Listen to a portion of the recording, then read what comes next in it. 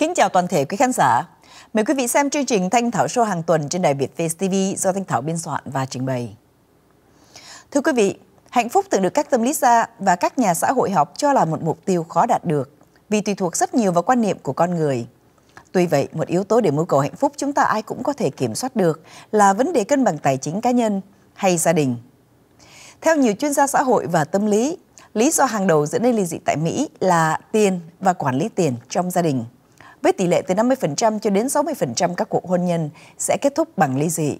Thiết nghĩ tìm biện pháp quản lý và cân bằng tài chính là một đề tài hữu ích trong đời sống nhằm cứu vãn hôn nhân hoặc tìm sự an bình cá nhân. Mời quý vị hãy cùng với Thanh Thảo tìm hiểu về những biện pháp này trong chương trình Quân bình ngân sách để tìm hạnh phúc trên đài Việt Face TV.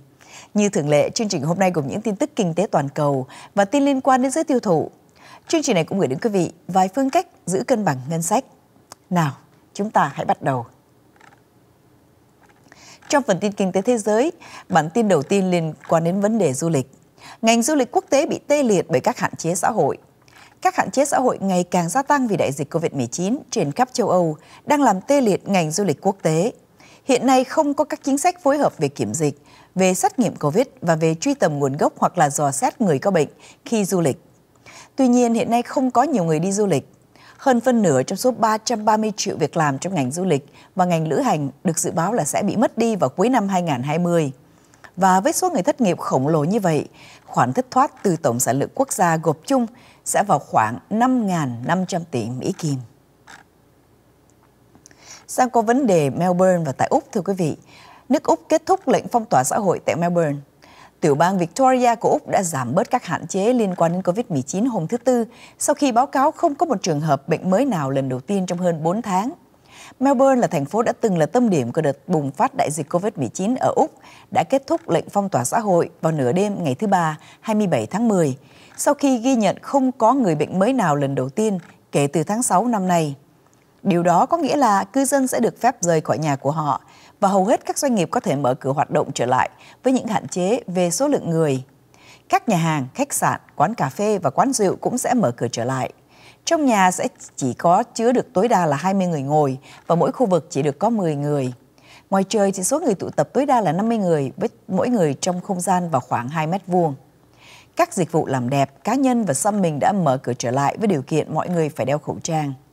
Việc dỡ bỏ những hạn chế và dấu mốc quan trọng là không có trường hợp COVID-19 mới nào trong gần 3 tháng đã đạt được sau khi thủ hiến của tiểu bang Victoria là ông Daniel Andrews tuyên bố rằng tình trạng thảm họa đã xảy ra. Vào thời điểm đó thì tiểu bang chứng kiến có tới 725 người bị bệnh COVID-19 chỉ trong một ngày. Ông Andrews nói rằng Victoria có thể ngăn chặn được siêu vi khuẩn vì công chúng sẵn sàng chịu đựng sự khó khăn, tuân theo các quy tắc và tin vào khoa học. Sang qua phần tin người Mỹ sinh ra tại Jerusalem có thể chọn nơi sinh.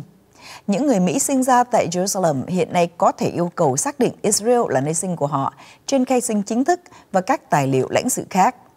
Ngoại trưởng Hoa Kỳ là Mike Pompeo đã đưa ra thông báo này hôm nay, hôm thứ Năm. Trước đây thì những người Mỹ sinh ra ở Jerusalem chỉ có thể đánh dấu Jerusalem là nơi sinh của họ trên các tài liệu chính thức mà thôi. Sự thay đổi này diễn ra hơn 2 năm sau khi chính quyền của Tổng thống Trump chuyển đại sứ quán của Hoa Kỳ từ Tel Aviv đến Jerusalem và công nhận Jerusalem là thủ đô của Israel. Hiện nay vẫn chưa rõ quy trình của các giới chức, lãnh sự quán Hoa Kỳ sẽ ra sao trong việc xác định xem họ có làm theo yêu cầu của những người Mỹ muốn xác định Israel là nơi sinh của họ hay không. Nhóm Ant tại Trung Quốc lập kỷ lục bán cổ phiếu lần đầu IPO mới. Nhóm Ant nghĩa là con kiến của nhà tài phiệt Trung Quốc Jack Ma vừa lập ra kỷ lục bán cổ phiếu lần đầu trên thị trường chứng khoán lớn nhất trong lịch sử. Công ty công nghệ đứng sau nền tảng thanh toán trực tuyến lớn nhất Trung Quốc đã định giá niêm yết kép của mình trên thị trường chứng khoán Hồng Kông và thị trường Thượng Hải ở mức là 80 đô la Hồng Kông và 68 nhân dân tệ, tương đương với vào khoảng 10 đô la Mỹ một cổ phiếu. Nhưng nhóm Ant hoạt động gì? Tuy được đặt tên của một loài côn trùng nhỏ bé, công ty này rất lớn ở Trung Quốc và là cánh tay tài chính của Alibaba, công ty thương mại điện tử được thành lập bởi tỷ phú Jack Ma. Theo một số nhà quan sát, Ant thực sự là viên ngọc quý của Internet Trung Quốc và được biết đến nhiều nhất với Alipay, cho phép người dùng gửi tiền cho bạn bè, trả tiền đặt thức ăn, đầu tư vào thị trường tiền tệ và hầu như mọi dịch vụ khác. Alibaba bắt đầu Alipay như là một dịch vụ hỗ trợ cho nền tảng thương mại điện tử của mình vào năm 2004, vào lúc mà việc mua sắm trực tuyến là điều mới lạ.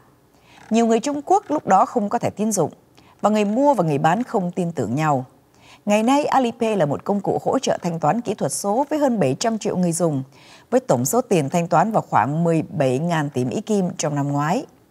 Ngoài ra, một trong những sản phẩm phổ biến nhất mà Ant tạo ra là Yu Bảo, có nghĩa là kho báu còn sót lại, cho phép người dùng lấy tiền còn thừa trong ví tiền kỹ thuật số và đầu tư vào thị trường tiền tệ. Số tiền đầu tư có thể ít nhất là một nhân dân tệ hoặc là 15 xu Mỹ. Trong vòng vài tháng kể từ khi ra mắt thì Weibo đã có hàng chục triệu người dùng ở Trung Quốc. Tuy vậy, Ant Alipay có thể không thể nào lập lại được thành công đó ở nước ngoài, đặc biệt là hiện nay khi tình trạng Bắc Kinh và Washington đang đối đầu nhau trong cuộc chiến bất tận về công nghệ kỹ thuật và các công ty kỹ thuật Trung Quốc thì đang bị kẹt giữa cuộc tranh chấp đó. Sang qua tin thống đốc Hawaii chào đón du khách Nhật Bản trở lại. Hawaii đang chuẩn bị chào đón nhiều du khách Nhật Bản hơn. Tiểu bang này sẽ dỡ bỏ quy định cách ly bắt buộc 14 ngày đối với du khách từ Nhật Bản vào ngày 6 tháng 11. Theo quy định mới thì du khách Nhật Bản sẽ chỉ phải cung cấp bằng chứng về việc đã xét nghiệm COVID-19 âm tính, được thực hiện không quá 72 giờ trước khi khởi hành. Đó là quy định tương tự áp dụng cho du khách từ đại lục Hoa Kỳ. Ít nhất 10 chuyến bay đến Hawaii từ Nhật Bản dự kiến sẽ tiếp tục vào tháng tới. Thống đốc Hawaii là ông David Inge nói rằng ông rất vui khi chào đón du khách trở lại. Ông nói vào tháng 3, khi lệnh cách ly bắt buộc 14 ngày có hiệu lực, tôi đã gửi lời xin lỗi đến nhiều du khách Nhật Bản, những người đã buộc phải hủy chuyến thăm đến Hawaii vì các biện pháp an toàn của chúng tôi. Nhưng hôm nay tôi gửi một thông điệp mới. Xin hãy cảm nhận sự tự do tham quan an toàn các hòn đảo của chúng tôi. Chúng tôi sẵn sàng và vui mừng chào đón bạn trở lại. Du khách đến từ Nhật Bản chiếm phần lớn nhất trong ngành du lịch quốc tế của Hawaii. Thống đốc Hawaii cho biết ông hy vọng có thể mở rộng ưu đãi tương tự cho du khách từ các quốc gia khác như là Canada, Nam Hàn và New Zealand. Du khách từ Nhật Bản có thể không phải dồn đến Hawaii ngay lập tức bởi vì họ vẫn còn phải đối mặt với biện pháp kiểm dịch khi họ trở về nhà. Marriott tạo ra những lựa chọn cho xu hướng làm việc từ khách sạn. Chữ viết tắt WFH tức là Working from Home, này có nghĩa là làm việc từ nhà, thưa quý vị, thì nay có thể sớm trở thành có nghĩa là làm việc từ khách sạn. Chuỗi khách sạn Marriott International công bố dịch vụ Marriott Bonvoy của mình, mang đến cho khách trọ sự thay đổi cảnh quan khi họ làm việc từ xa. Theo một cuộc khảo sát của chuỗi khách sạn này, những người được hỏi cho biết làm việc trong phòng khách sạn giúp cho họ phá vỡ sự đơn điệu hàng ngày và giảm bớt tình trạng ngột ngạt trong các căn chung cư nhỏ. Trong số các thành phố cung cấp dịch vụ Marriott Bonvoy này thì có Atlanta, Dallas, New York, London và Hồng Kông. Tin từ Việt Nam cho thấy ngập lụt sau cơn bão Molavi. Hiện tại thì Việt Nam đã có ít nhất 13 người thiệt mạng và hàng chục người khác mất tích sau những trận mưa lớn do bão gây ra làm sạt lở đất. Cơn bão số 9 tên quốc tế là bão Molave đã đổ bộ vào đất liền ở miền Trung Việt Nam hôm thứ Tư với sức gió lên tới 165 km/h. Chính phủ Việt Nam cho biết hàng triệu người vẫn chưa có điện và hơn 50.000 ngôi nhà đã bị hư hại vì bão lụt. Cũng liên quan đến Việt Nam, Ngoại trưởng Hoa Kỳ Pompeo gặp gỡ các nhà lãnh đạo Việt Nam. Ngoại trưởng Hoa Kỳ Mike Pompeo đang kết thúc chuyến công du châu Á với mục đích chống Trung Quốc tại Việt Nam khi cuộc đua tranh cử Tổng thống Hoa Kỳ khốc liệt bước vào giai đoạn cuối. Chỉ còn có 4 ngày nữa trong chiến dịch tranh cử mà Trung Quốc là chủ đề trọng tâm, ông Pompeo đã đến thăm Hà Nội vào ngày thứ Sáu 29 tháng 10 để kỷ niệm 25 năm quan hệ Việt-Mỹ. Nhưng cũng như những lần dừng chân trước đây ở Ấn Độ, Sri Lanka, Maldives và Indonesia, ông Pompeo đã làm nổi bật sự ác cảm của chính quyền Tổng thống Trump đối với Trung Quốc. Cách đối phó với đại dịch coronavirus, hồ sơ nhân quyền và sự hiếu chiến đối với các nước láng giềng nhỏ hơn trong vùng.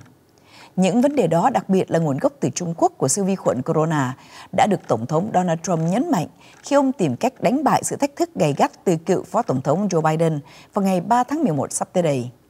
Ông Trump đã tìm cách nhấn mạnh việc ông Biden yếu thế trước Trung Quốc và liên tục đưa ra những câu hỏi về mối liên hệ bị cáo buộc giữa con trai của ông Biden là Hunter Biden và các doanh nghiệp Trung Quốc. Việt Nam là một nước bổ sung muộn trong lộ trình công du của Ngoại trưởng Pompeo và có nhiều lo ngại về các chính sách của Trung Quốc trong khu vực. Những điều đó bao gồm các tuyên bố chủ quyền về lãnh thổ và hàng hải của Bắc Kinh ở Biển Đông đến các hoạt động phát triển của nước này dọc theo sông Mekong, chảy qua phần lớn lục địa Đông Nam Á và là một huyết mạch trong khu vực. Trong một tuyên bố được đưa ra trước khi ông Pompeo đến Việt Nam, Bộ Ngoại giao đã công kích Trung Quốc vì đã từ bỏ các cam kết hợp tác với các nước Mekong khác và vì đã tích cực theo đuổi các tuyên bố chủ quyền đáng nghi ngờ ở Biển Đông. Trung Quốc đã thúc đẩy nỗ lực thực thi các tuyên bố chủ quyền của mình đối với phần lớn Biển Đông và đã phớt lờ phán quyết trọng tài do Philippines giành được đã vô hiệu hóa những tuyên bố của phía Trung Quốc. Và sau đây là một số tin liên quan đến giới tiêu thụ bởi vì 2 phần 3 lực chuyển của nền kinh tế Mỹ lệ thuộc vào mức chi tiêu của người dân. Bản tin đầu tiên là Hoa Kỳ công bố GDP tạm cá nguyệt thứ ba năm 2020 tăng kỷ lục.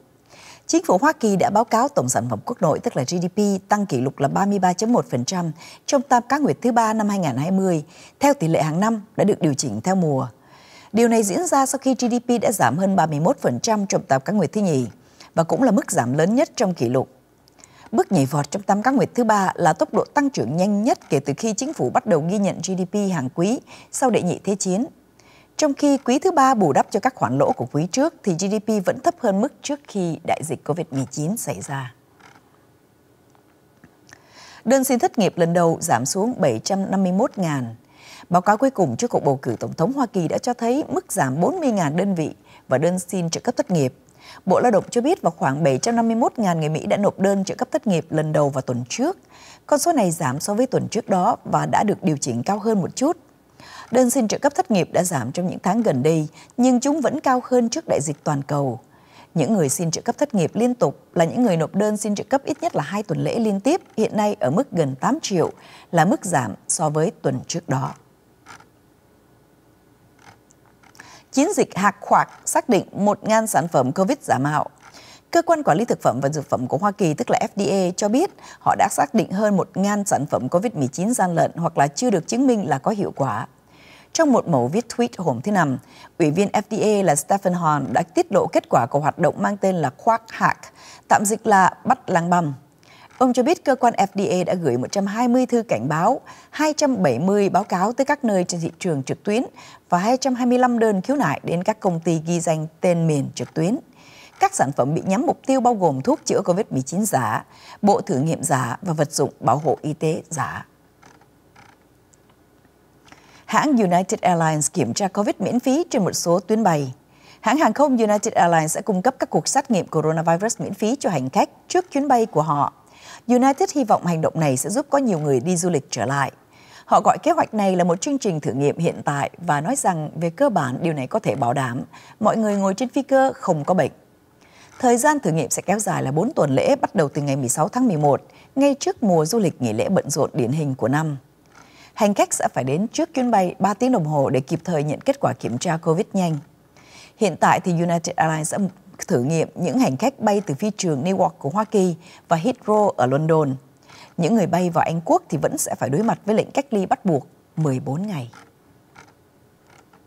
Cũng liên quan đến việc xét nghiệm COVID-19, chuỗi tiệm CVS mở rộng dịch vụ thử nghiệm COVID-19. CVS đã công bố kế hoạch mở rộng dịch vụ thử nghiệm COVID-19 của mình – chuỗi tiệm thuốc Tây này muốn bổ sung xét nghiệm kết quả nhanh tại gần 1.000 địa điểm vào cuối năm nay. Gần 100 địa điểm kiểm tra kết quả nhanh sẽ hoạt động trong tuần này. Các cuộc xét nghiệm được cung cấp miễn phí cho những bệnh nhân đáp ứng các tiêu chí của Trung tâm Kiểm soát và Phòng ngừa Dịch bệnh Hoa Kỳ, tức là CDC. CVS hiện nay đang quản lý hơn 4.000 địa điểm kiểm tra lái xe qua các cơ sở dược phẩm ở 33 tiểu bang và Washington DC. Hầu hết kết quả từ các địa điểm thử nghiệm sẵn có này sẽ được giao trong vòng 2 cho đến 3 ngày. Người muốn thử nghiệm COVID-19 phải ghi danh hẹn trước trên trang mạng cvs.com. Netflix sẽ tăng giá dịch vụ hàng tháng. Rất nhiều người trong số quý khán giả đã say sưa xem phim ảnh trực tuyến trên mạng Netflix trong thời gian đại dịch, bị nhốt ở nhà vì COVID-19. Và bây giờ thì người xem sẽ phải trả thêm một chút tiền nữa. Hôm thứ Năm, Netflix thông báo sẽ tăng giá trên các dịch vụ tiêu chuẩn và cao cấp Kế hoạch tiêu chuẩn của công ty hiện nay là 14 Mỹ Kim, tăng thêm 1 Mỹ Kim so với năm ngoái. Người mua dịch vụ cao cấp sẽ trả thêm 2 Mỹ Kim thành 18 Mỹ Kim một tháng. Dịch vụ cơ bản vẫn không thay đổi ở mức là 9 Mỹ Kim một tháng. Cổ phiếu của Netflix tăng 5% sau tin này. Người Mỹ thận trọng lập kế hoạch du lịch mùa thu. Người Mỹ đang lập kế hoạch đi nghỉ dịp cuối năm nhưng vẫn lạc quan một cách thận trọng về những kế hoạch tương lai đó, theo công ty AAA.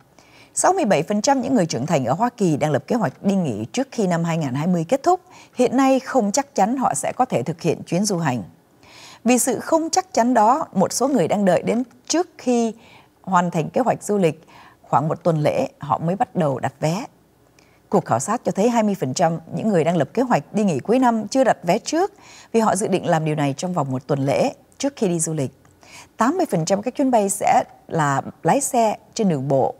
Và nhiều người Mỹ hơn trong năm nay hướng đến các địa điểm nổi tiếng với hoạt động giải trí ngoài trời như là đi bộ đường dài và khám phá các công viên quốc gia và tiểu bang, những nơi cho phép giải trí mà vẫn giữ được khoảng cách xã hội. Các địa điểm hàng đầu của các chuyến du lịch bằng đường bộ năm nay bao gồm Denver, Colorado, Las Vegas, Nevada, Los Angeles, California, thành phố San Diego, California và Seattle, Washington. Giá thấp hơn tại các trạm đổ xăng có thể làm tăng thêm cơn sốt lái xe đường bộ vào mùa thu năm nay. Giá xăng trung bình tháng này rẻ hơn năm ngoái và khoảng 50 xu một gallon. Giá xăng mùa thu không thấp như vậy kể từ năm 2016 và quý vị có thể xem dữ liệu giảm và giám sát COVID-19 của CDC trên trang mạng của trung tâm này để biết những hạn chế mới nhất của tiểu bang và địa phương mà quý vị muốn ghé thăm. Có thể khấu trừ chi phí làm việc từ nhà hay không? Nếu quý vị đang làm việc tại nhà, thì có thể quý vị đã chi một số tiền để tạo sự thoải mái hơn cho cuộc sống và công việc của mình. Vậy thì quý vị có được trừ những khoản chi tiêu đó hay không? Theo nhiều chuyên gia sức khỏe, trong đó có bác sĩ chuyên khoa bệnh truyền nhiễm là Celine Gonder, thì làm việc tại nhà là nơi an toàn nhất vì giảm được rủi ro nhiễm bệnh COVID-19 cho chính mình và cho người khác. Nếu quý vị đã mua đồ dùng như là bàn, ghế hoặc là trả thêm tiền để có kết nối Internet tốt hơn nhằm làm việc tại nhà dễ dàng hơn, thì có lẽ quý vị đã tự hỏi liệu mình có thể khấu trừ thuế văn phòng tại nhà cho những chi phí đó trên hồ sơ khai thuế liên bang năm 2020 hay không? Câu trả lời ngắn gọn, có lẽ là không. Những người có thể đủ điều kiện để được khấu trừ nhất là những người tự kinh doanh. Nhưng ngay cả trong trường hợp đó thì họ cũng phải đáp ứng những quy tắc nhất định. Còn nếu làm việc toàn thời gian cho công ty hoặc là một người khác thì không được khấu trừ. Sở thuế liên bang IRS đã lưu ý vào tháng trước rằng những nhân viên nhận được tiền lương độc quyền hoặc là mẫu đơn W2 từ một công ty thì sẽ không đủ điều kiện để được khấu trừ thuế, ngay cả khi họ làm việc tại nhà. Tuy nhiên, những nhân viên sống ở bảy tiểu bang là Alabama, Arkansas, California, Hawaii, Minnesota, New York và Pennsylvania thì được khấu trừ các chi phí kinh doanh của nhân viên chưa được hoàn trả trong hồ sơ khai thuế lợi tức của tiểu bang của họ. Tuy vậy, quý vị cần nhờ kiểm, nhớ kiểm tra hướng dẫn về việc khai thuế bởi vì mỗi tiểu bang có thể có những quy định khác nhau về số tiền chi phí chưa được hoàn trả hội đủ điều kiện. Các chuyên gia thuế khuyên rằng quý vị chỉ cần hỏi xem công ty của mình có hoàn trả tiền chi phí văn phòng tại nhà trực tiếp cho quý vị hay không. Mặc dù hiện nay thì chỉ có 38% số công ty cho biết họ đang làm như vậy. Thưa quý vị, vừa rồi là những tin kinh tế liên quan đến giới tiêu thụ tại Mỹ. Bàn về ngân sách gia đình, Thanh Thảo nhận được một số câu hỏi của khán thính giả về vấn đề có cần phải lập ra kế hoạch nghỉ hưu hay không, hay là chỉ để dành tiền trong quỹ tiết kiệm và quỹ tiền hưu trong sở là đủ. Thưa quý vị, Tháng 10 hàng năm là tháng kế hoạch tài chính quốc gia Hoa Kỳ, là thời điểm lý tưởng để lập kế hoạch tài chính cho tương lai của quý vị. Quý vị có đang tiết kiệm tiền để nghỉ hưu hay không? Nếu có thì quý vị đang đi đúng hướng. Quý vị có dự định nghỉ hưu hay không? Điều đó thậm chí còn tốt hơn. Lập kế hoạch cho việc nghỉ hưu và các mục tiêu tài chính dài hạn khác là một bước cần thiết có thể giúp cho quý vị đạt được những mục tiêu đó dễ dàng hơn. Tuy vậy, chỉ để dành tiền tiết kiệm mà không đầu tư số tiền đó thì không đủ vì lãi suất ngân hàng ngày nay quá thấp, tiền trong chương mục tiết kiệm thông thường hầu như không tăng bao nhiêu. Số tiền lời ngân hàng thậm chí có thể không đủ để theo kịp tỷ lệ lạm phát, khiến cho người tiết kiệm gặp bất lợi về tài chính trong dài hạn. Rất ít người Mỹ nghỉ hưu chỉ bằng cách dùng tiền tiết kiệm. Thay vào đó thì họ đầu tư một số tiền tiết kiệm của mình và chủ yếu nghỉ hưu dựa vào lợi tức tích lũy mà số tiền đầu tư đó tạo ra được theo thời gian. Đầu tư mà không lập kế hoạch thường không đủ hầu hết mọi người đầu tư với ý tưởng chung là được giàu có, đặc biệt là có đủ tiền để nghỉ hưu. Nhưng rất nhiều người đầu tư mà không có kế hoạch cụ thể nào. Họ chỉ đoán xem họ sẽ cần bao nhiêu tiền sau khi nghỉ việc và sự phỏng đoán đó có thể sẽ không đúng. Vậy mà một số người còn không có kế hoạch nữa. Thật ra việc tăng trưởng tài sản và duy trì sự giàu có không chỉ đơn thuần là đầu tư. Trong thời gian đầu tư đó thì quý vị cần lập kế hoạch quản lý rủi ro và hoãn hoặc là giảm bớt thuế. Một kế hoạch tài chính tốt đẹp được tạo ra với sự hỗ trợ của một chuyên gia tài chính có kinh nghiệm sẽ giải quyết những ưu tiên đó trong khi xác định cách tiếp cận đầu tư của quý vị. Kế hoạch này cũng thay đổi theo thời gian để phản ánh những thay đổi trong cuộc sống và mục tiêu tài chính của quý vị. Khi có một kế hoạch đầu tư, quý vị có thể đặt ra các mục tiêu và cột mốc ngắn hạn và dài hạn. Quý vị có thể ước tính số tiền mà mình có thể sẽ cần để đáp ứng mọi chi phí, hưu trí, đóng tiền đại học cho con, em và chăm sóc sức khỏe. Quý vị có thể lập kế hoạch để dần dần thu hẹp công việc kinh doanh của mình khi đến tuổi nghỉ hưu hoặc là tự tin rời khỏi công việc của mình. Quý vị cũng có thể xem xét tình hình tài chính hiện nay của mình, so sánh số tài sản và số nợ phải trả và biết được khoảng cách giữa hoàn cảnh tài chính của quý vị ngay bây giờ và vị thế mà mình muốn có được. Một cuộc thăm dò của Gallup năm 2016 cho thấy chỉ có 38% nhà đầu tư có kế hoạch tài chính bằng văn bản. Những người không có chiến lược tài chính bằng văn bản cho biết có nhiều lý do khiến cho họ thiếu chiến lược tài chính. Có hai lý do hàng đầu là 29% người được thăm dò không dành thời gian và 27% người được thăm dò không nghĩ về điều này. Những tháng cuối năm đang tiến gần kề và không bao lâu thì một năm mới sẽ bắt đầu. Vì vậy, đây là thời điểm thích hợp để quý vị hãy suy nghĩ về những gì mình đã làm được trong năm 2020 và những gì mình hy vọng có thể làm được trong năm tới.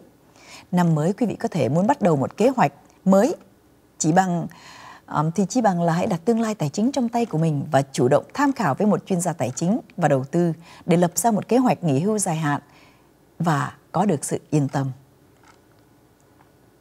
Thưa quý vị, Quân bình ngân sách gia đình không những giúp cho chúng ta mang lại hạnh phúc cho người thân mà còn đem sự bình an cho tâm hồn. Nếu quý vị có ý kiến đóng góp hoặc là muốn gửi câu hỏi về chương trình này, xin liên lạc với Thanh Thảo tại Tony Thanh Thảo at vietfacetv.com hoặc info@vietfacetv.com. Cảm ơn quý vị đã chọn xem chương trình Thanh Thảo Show tuần này và hẹn lại gặp gặp lại quý vị trong chương trình tuần tới. Thân ái kính chào tạm biệt.